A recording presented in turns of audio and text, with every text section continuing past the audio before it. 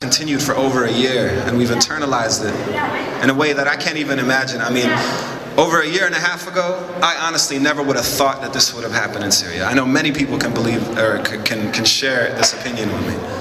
But now that it has, we can't imagine ever going back. That's it. We've gone too far to turn back. And so this will happen. It's just a matter of time.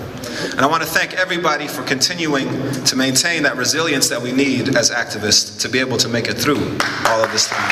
And it's only been a year. I want to say to my Palestinian brothers and sisters in the audience, we're learning from you. We're learning from your, your playbook, if you will.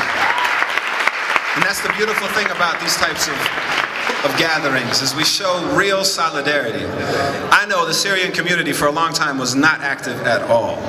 I can say that almost with full confidence that generally speaking, most Syrians stick to themselves, stick to their little circles, and they don't stay out of them. And they study medicine, and then they become doctors, and it's all good. The beautiful thing about this revolution is that it has woken up so many people, made them understand just how important events like these are. And hopefully we carry that with us when this regime topples and we can begin to support other people in their freedom struggles and never forget the type of solidarity that we received from you all. So thank you all once again. I know I'm talking a lot tonight, but this means a lot.